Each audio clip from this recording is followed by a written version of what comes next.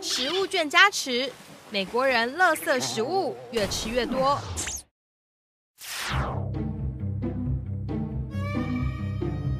现在有四千七百万美国人仰赖食物券吃饭，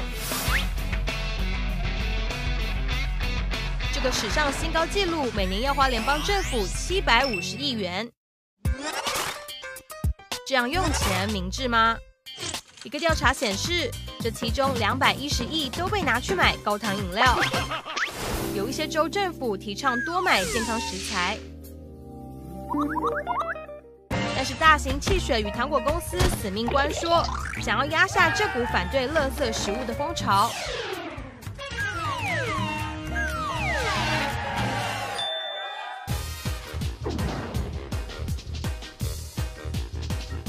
连反饥饿团体都被收买了，大型食品生产公司也强烈反弹。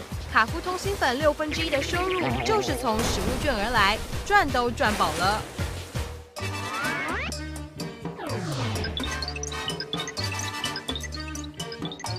也许重新通过农业法案之后，国会可以删减食物券对大型汽水、糖果和食品生产公司的补助。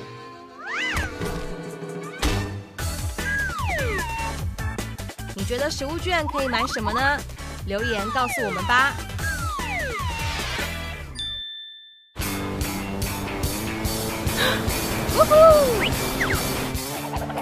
来跟我们一起，赶快到脸书